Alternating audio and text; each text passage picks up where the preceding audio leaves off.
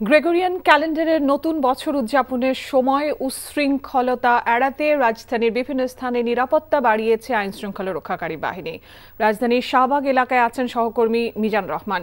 মিজান, নিরাপত্তা রক্ষায় পুলিশের তৎপরতা কেমন দেখছেন এবং ঢাবি ক্যাম্পাসে এই বর্ষ উদযাপনের প্রস্তুতি কেমন?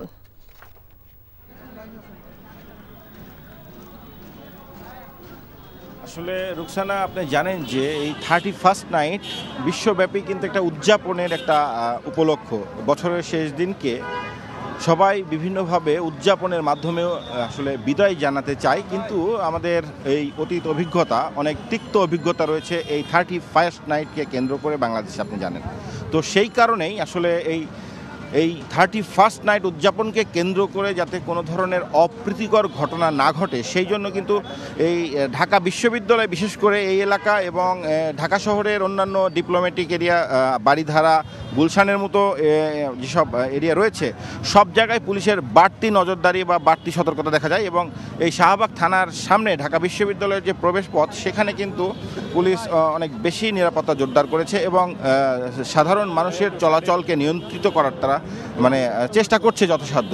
কারণ আগে থেকেই ডিএমপি থেকে কিন্তু কিছু নির্দেশনা দেওয়া হয়েছে যে থার্টি ফার্স্ট নাইটকে কেন্দ্র করে অপ্রীতিকর কোনো ধরনের ঘটনা যাতে না ঘটে, সেই ব্যাপারে বাড়তি আসলে সতর্কতা এবং এই এই সন্ধ্যা থেকে শুরু করে এই যে রাজধানীতে যেসব রয়েছে, যেসব মানে উদযাপন কেন্দ্র রয়েছে বা বার, রেস্টুরেন্ট এসবকেও কিন্তু বিধিনিষেধ দেওয়া হয়েছে।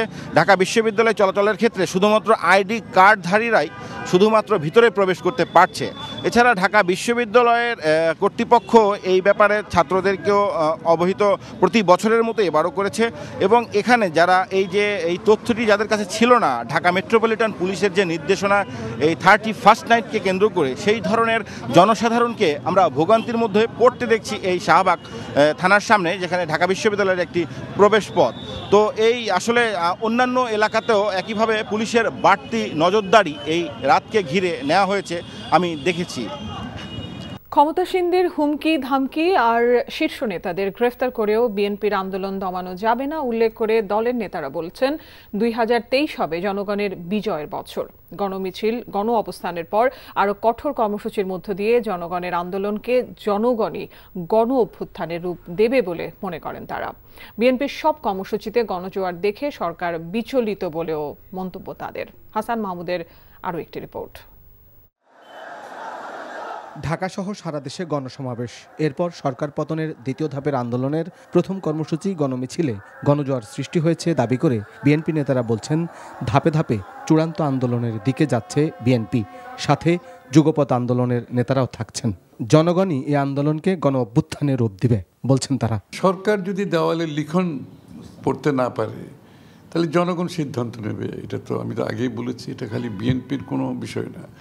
এটা বাংলাদেশের জনগণের মুক্তির সংগ্রাম। মুক্তিযুদ্ধে যেভাবে সংগ্রাম হয়েছিল দেশকে মুক্ত করার জন্য আজকেও দেশের মানুষের তার মুক্তির জন্য তার মালিকানা ফিরে পাওয়ার জন্য।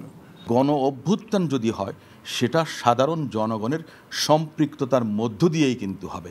সে সময় কিন্তু আপনি যে মনে করেন যে সরকারের আপনার পেটোয়া বাহিনী বা পুলিশ বাহিনী কিংবা আপনার অন্যান্য হুমকি ধামকি যা কিছুই থাকুক না কেন সমস্ত কিছু উপেক্ষা করে স্বৈর শাসনের অবসানের সূচনা করবে।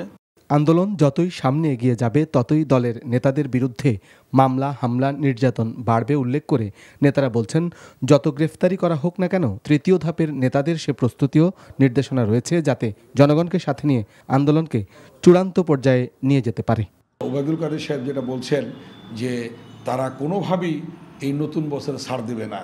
আমাদের পরিষ্কার বক্তব্য, নির্দলীয় নিরপেক্ষ তত্ত্বাবধায়ক সরকার ছাড়া এদের নির্বাচন হবে না এই ব্যাপারে আমরা বিন্দু মাত্র ছাড় দেব না। এবং এই তেইশ সাল হবে সরকার, বিদায়ের সরকার। আমরা পর্যায়ক্রমে কঠোর কর্মসূচিতে আমরা এগোতে থাকবে। কিন্তু সরকার যদি মনে করে যে আমরা এত গ্রেপ্তার করতেছি, এত এত গ্রেপ্তার করতেছি, তারপরেও তারা ছাড়ে না, তারা আন্দোলন সংগ্রাম চালিয়ে যাচ্ছে।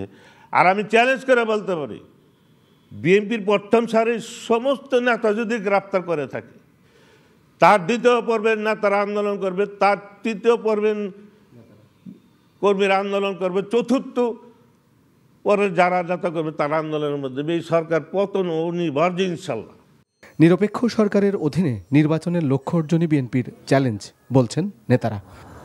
Hasan Mahmud NTV news, Dhaka.